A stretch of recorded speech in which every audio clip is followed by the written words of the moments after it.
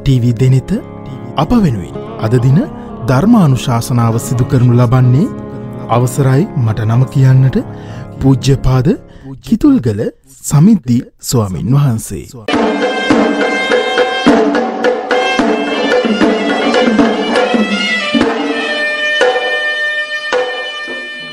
තෙරුවන් සරණයි පින්වතුනි අද ටීවී දෙනත ධර්ම අසපුව වැඩසටහන තුළින් අද මේ තරුණ දූපුතුන්ට කියලා දෙන්නේ අප ශාන්තිනායක අමාමෑණි තථාගත ලෞතර බුදුරජාණන් වහන්සේ දේශනා කොට වදාළ ආවේනික දුක්ඛ සූත්‍රයේ එන පිරිමින්ට නැති ස්ත්‍රියන්ට විතරක් ආවේනික විච්ච දුක් පහක් පිළිබඳව.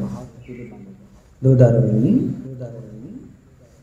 ලෝතර බුදුරජාණන් වහන්සේගේ ධර්ම දේශනාවට අනුව යම්කිසි ස්ත්‍රියක් මෙලවට උප්පත්තිය ලැබුවාන් පස්සේ මේ ස්ත්‍රිය ඒ කියන්නේ මේ දිහිනිය චෝටි කාලයේදී තමන්ගේ අම්මා ගාව තාත්තා ගාව හරියට හුරතල් වෙලා හැදෙනවා. ඒ වගේම තමයි සහෝදර සහෝදරිය ළඟ හැදෙනවා. ටික කාලයක් යනකොට ඒකට කියනවා දැන් මේ කාලේ නම් කියන්නේ විවාහ ජීවිතයටපත් වෙනවා කියලා. හැබැයි ඒ කාලේ කියන්නේ පතිකුලයට යනවා කියලා. ඉතින් පතිකුලයටපත් වෙනකොට නිසි වයසට ඇවිල්ලා අර අම්මව තාත්තව දාලා සහෝදරයන්ව දාලා එයාට තවත් කෙනෙකුගේ සරණ ජීවිතයක් වෙනුවෙන් එයාගේ ජීවිතය කැප කරන්න වෙනවා. එතකොට අම්මගෙන් තාත්තගෙන් ඈත් වෙන්න සිදු වෙනවා. ඔක තමයි ආවේනික දුක සූත්‍රයේ සඳහන් වෙන පළවෙනි දුක. ඒ කියන්නේ තමන්ගේ අම්මව තාත්තව සහෝදර සහෝදරයන් ඈත් කරලා ඒ ගෙදරින් පිටත් වෙන එක.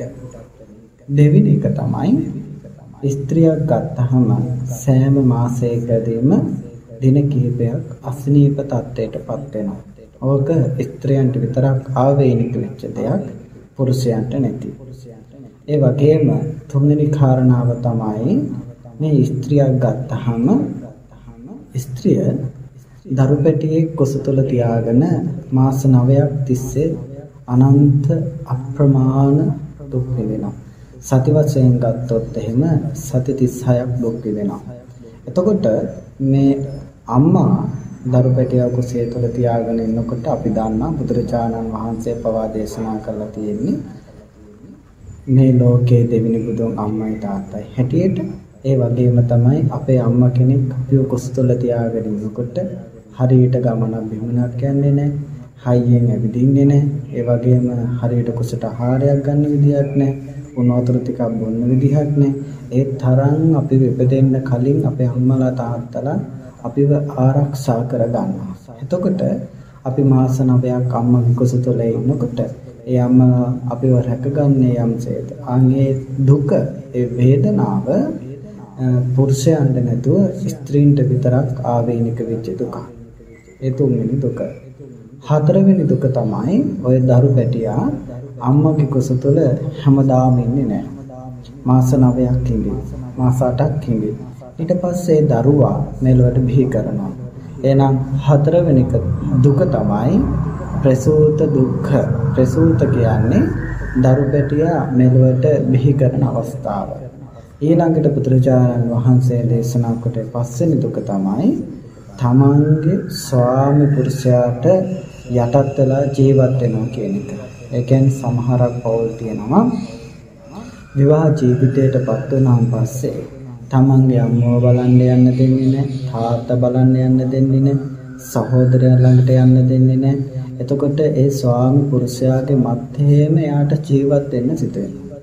ඒ නිසා ලෝතර බුදුරජාණන් වහන්සේ ආවේනික දුක්ඛ සූත්‍රයේ දේශනා කරපු ස්ත්‍රියන්ට විතරක් ආවේනික වෙච්ච දුක් පහ තමයි ඔය මම දේශනා කරේ. ඒ නිසා හොඳට මතක තියාගන්න ඇඟ හදන බෙහෙත් ලොව කෙතෙක් තිබුණාද හිත හදන ලොව එකම බෙහෙත බුදුරජාණන් වහන්සේගේ ධර්මයේ විතරයි.